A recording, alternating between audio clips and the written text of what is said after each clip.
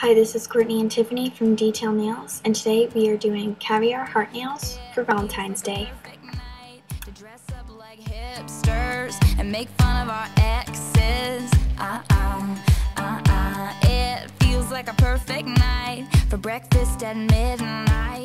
Little caviar balls, a base coat,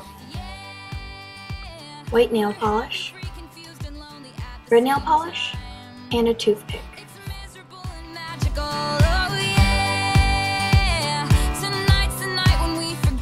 First paint your nails with a base coat and then a white polish. Then use a toothpick dipped into red polish to create a heart on your nail.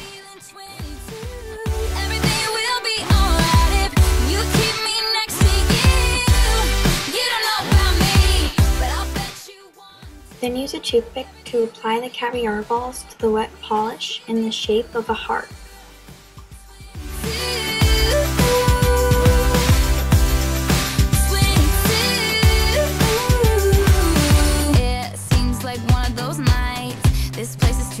crowded, too many cool kids. Uh-uh, uh-uh, uh-uh.